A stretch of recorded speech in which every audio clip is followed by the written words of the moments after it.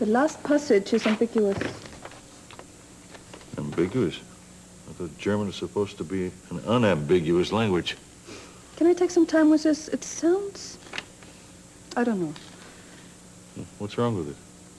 The word he uses for agreement, Hmm? it could also take the meaning of, of contract.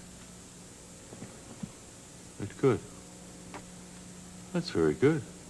Exactly what I was looking for. Thank you. Let me check and make sure. Then I'll write this all this out for you. Thank you, Katrina. Been a very big help. Good. I'm glad I can help you with something. Mr. Capwell, CC. that house over there, that's where the Lockridges live, right? Yes. They're your enemies? Enemy? Well, let's just say they're not my friends. Not by a long shot, anyway. That's too bad. I know what it's like to have neighbors to hate. And I know how hard it is to tear down a wall once it's been built.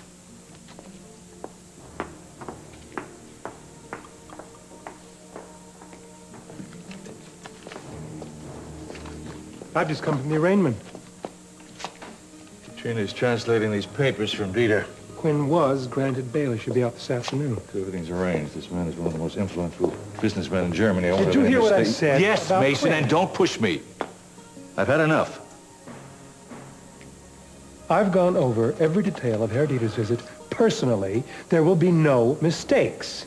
There better not be.